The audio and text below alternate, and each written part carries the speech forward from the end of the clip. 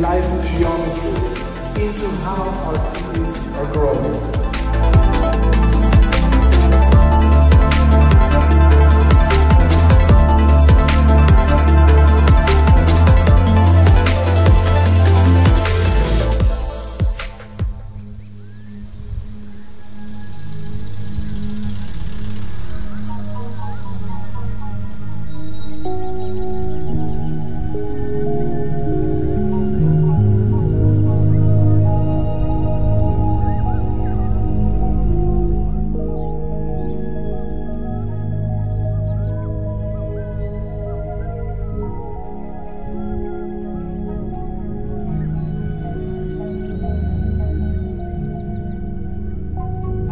Cities are the greatest design challenge of our time, which also means that it's our greatest design opportunity.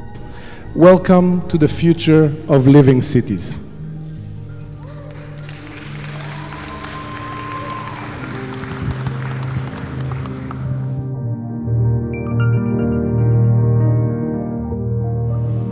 Today, I propose a shift.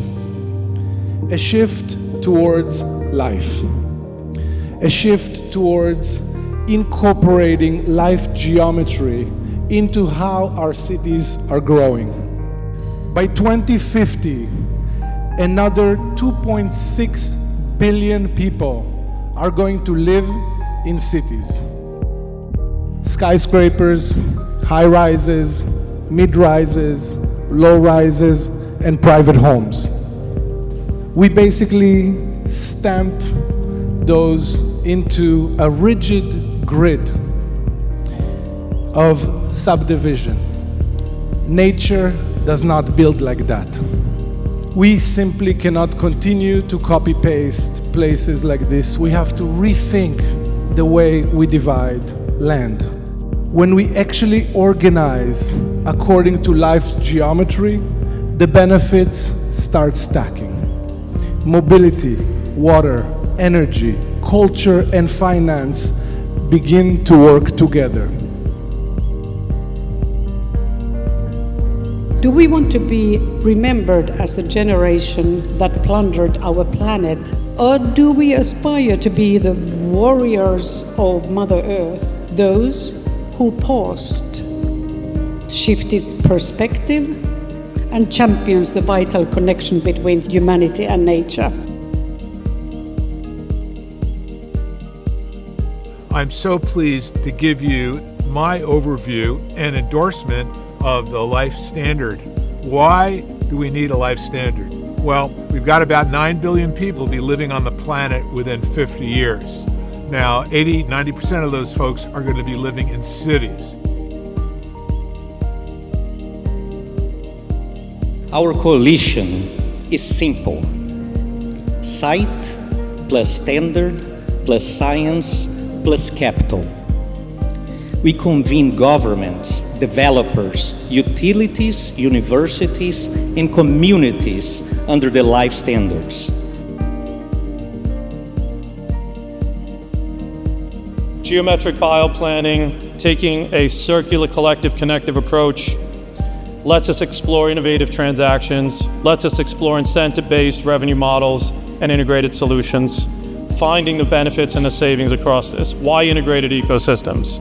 Cellular clusters, shortens networks, improves connectivity, improves transactions with others, cuts roads, cuts transmission, cuts broadband, cuts waste, cuts energy consumption. Most importantly, it cuts and saves time. At AECOM, we're driven by working to deliver a better world. And we can only do that when we can actually measure performance. We are thrilled to be collaborating with Dror and Life to actually measure the potential that bioplanning and ecological cities have to deliver green blue corridors that can manage floods and climate risks more effectively, that can create more shade and improve airflows and manage outdoor heat stress, that can improve travel times, that can use mixed use densities to create more livable and adaptable cities.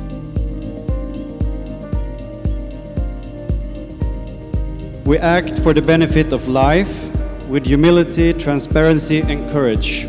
Legacy is not a statue, it's a standard that endures. It is a way of building that our children will thank us for. We have a geometry that belongs to nature, a method that can be verified, and a coalition that can scale. So I invite governments and institutions to join us in making life a shared language for cities.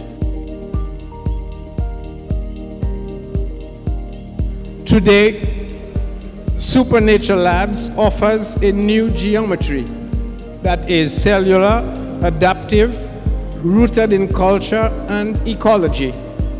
The life standard makes it actionable with compliance tools and measurable impact that financing and investors can trust.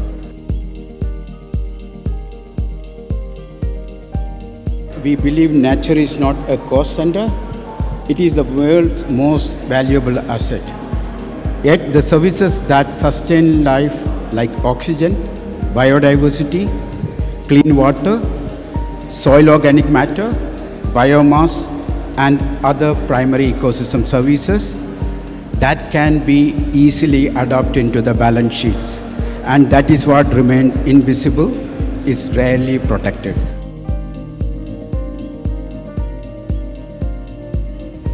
To honor that truth, capital must evolve from extraction to stewardship, and data must be treated as sovereign infrastructure. We're showing what that looks like with real world natural assets that turn forests and reefs into national strength rather than cost centers. Sovereign data systems that return ownership to governments and communities for growth. And now, with the life standard, we're setting a new baseline a way to measure value, not just in GDP or returns, but in the health of our planet and our people. What matters is aligning capital with life itself. I want to live in a living city, an ecological marvel, a place where I can bring up my kids. Consider we could design cities now with the highest order of biomimicry, studying mammalian logic, cellular logic, understanding how all those organ systems work together to create an environment that optimizes for freedom, for harmony, even for social empathy. And in Hawaii, we say not our name, but who we are. Who am I? Who are you? I ask you that question. And the answer is He Hawaii'o. He Hawaii'o means I am Hawaii. It means I am connected to her because I am of her. I can't own something that I am from. I can't own something I belong to. What I can own is the stewardship responsibility for caring for it. Our planet is just one island in this vast sea of space she is fragile. Like Kaho'olawe, she is asking, What am I to do with all of these wounds? And together we answer, We love you. We restore you. We will never leave you alone. We will never forget you. We will always love you. It is that love that has brought us here. Yeah? That aloha which we have journeyed for.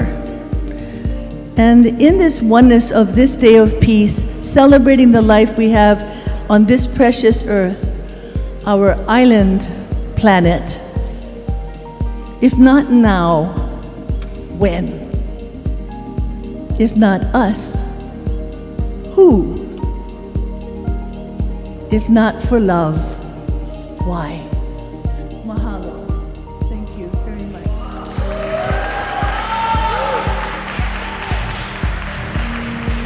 Thank you for being here, and uh, we're looking forward to everything we're going to do together. Thanks, everyone.